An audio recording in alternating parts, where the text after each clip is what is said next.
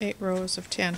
Four. So, yeah. yeah, it's fairly easy to unscrew the edge and pop them out, but it'd be nice to have a little flip toggle that would, uh, easily pop out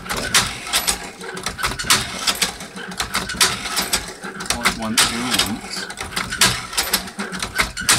It's still pulled a little bit. But I think what's happening is It comes again. It's snagging just a little bit on the edge of those holes. Two. I don't think it's the end of the wood.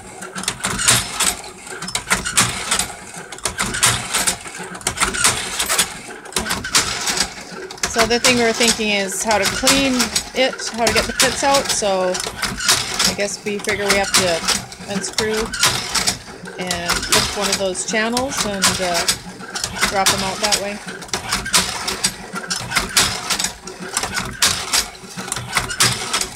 Yeah. So far so good. Oh, that one caught a little bit there, didn't it? Oh, that's the same one.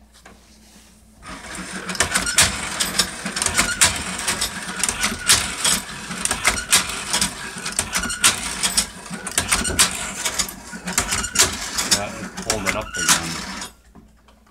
It's what? It pulled it up again. Uh. Well, unless he sends us one replacement. see, now there's two things that could be.